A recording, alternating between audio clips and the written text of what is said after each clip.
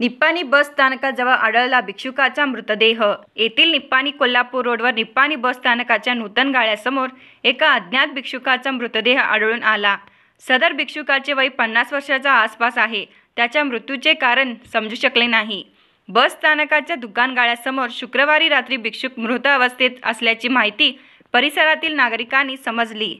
त्यानंतर ही माहिती बसवेश्वर चौक पोलीस ठाण्याला देण्यात आली. त्यानंतर शनिवारी सकाळी घटनास्थळी सहाय्यक उपनिरीक्षक आर जे कुंभार मारुती कांबळे यांनी भेट घेऊन घटनेचा पंचनामा केला. त्यानंतर नगरपालिकेच्या सफाई कर्मचाऱ्यांनी सदर भिक्षुकावर अंत्यसंस्कार केले.